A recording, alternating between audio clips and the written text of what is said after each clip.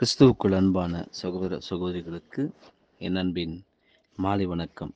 இரவின் இனிய கீதங்கள் ஆகஸ்ட் இருபத்தி எட்டு. எங்கள் தேவனாகிய கத்தாவே எங்களுக்கு துணை நில்லும்.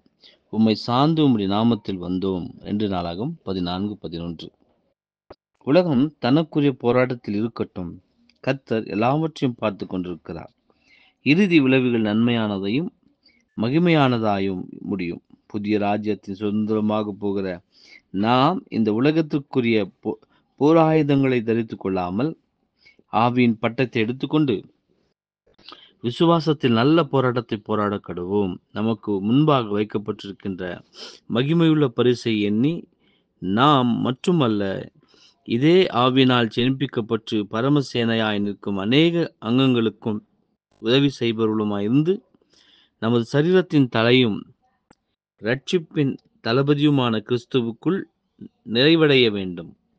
சீக்கிரத்தில் தேவன் தமது அருமையான குமாரன் மூலமாக ஸ்தாபிக்கப் போகும் மகிமையுள்ள ராஜ்யத்தில் சர்வ சிருஷ்டியும் தேவனுடைய கருணை கடாட்சத்தை காணும். அவரது குமாரனால் சர்வலோக மக்களுக்கு உயர்த்தப்பட்டு போதிக்கப்பட்டு ஆசிர்வதிக்கப்படுவார்கள்.